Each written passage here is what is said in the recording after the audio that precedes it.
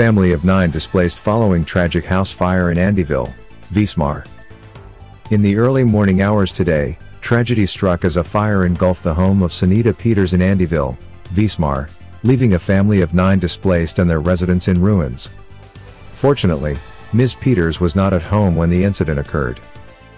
One of the occupants, Rashanna Higgins, along with two siblings and four young children, were present at the time. They reported hearing a noise and noticed flickering lights in the front bedroom, prompting immediate checks. Upon investigation, flames were discovered, leading to an immediate call to the fire service. Efforts were made, with the assistance of neighbors, to salvage some belongings. However, the intensity of the fire forced the occupants to evacuate swiftly. The responding fire service personnel worked diligently to bring the fire under control.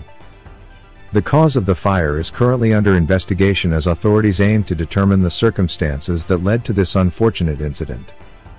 The affected family, consisting of nine members, now faces the challenge of displacement.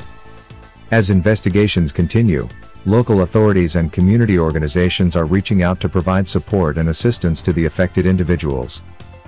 In the spirit of community solidarity, citizens are encouraged to offer any support or assistance they can to help the affected family during this difficult time.